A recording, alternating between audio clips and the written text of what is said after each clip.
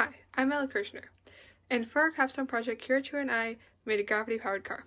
We are wondering, is it possible to make a car entirely powered by gravity? Could this be a realistic, climate-friendly option in the future? We wanted to research this topic and construct a model that could be both fun and useful. Our first model proved that yes, it is possible. It can move simply by the power of a weight.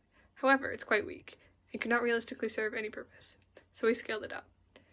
Our goal with this project was to make a car that could transport something, even if it's just a book, across a hallway without any assistance. Our model is not going to solve any problems that couldn't be fixed otherwise, but our goal. Possibly a larger model could serve a more practical purpose, but we didn't have the time or funding to construct that. We know this will never be a substitute for a gas or electric car, but it could be useful in transporting items without any negative environmental impact, low cost, and high efficiency. How does it work? Our model is based around a large wooden body that has wooden pillars sticking up and a dowel connecting them. A string runs along the top of the wooden dowel with a weight on one side. The other side is connected to the wheels.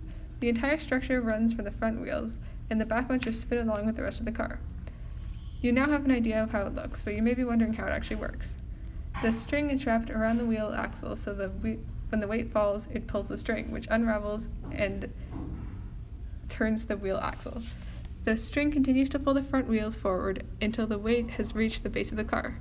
After the string has run out and the weight has fallen to all the way, the string comes loose and the car runs on the momentum it has built up.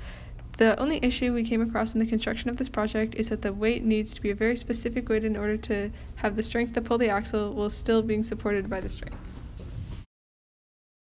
What are the advantages of this car as opposed to other options? This car may not be suitable for real world purposes, but it has some positive characteristics. For example, it has little to no environmental impact. The average gas car produces 2.3 kilograms of CO2 per liter of gas.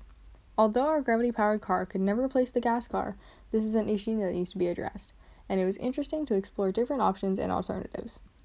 Our car is also fairly low cost to construct and maintain. After the initial structure is built, there should be no other costs as it doesn't need any materials to use as fuel. The only exception may be repairs, but this would not be necessary very often. The other advantage is that you don't need anyone to drive it.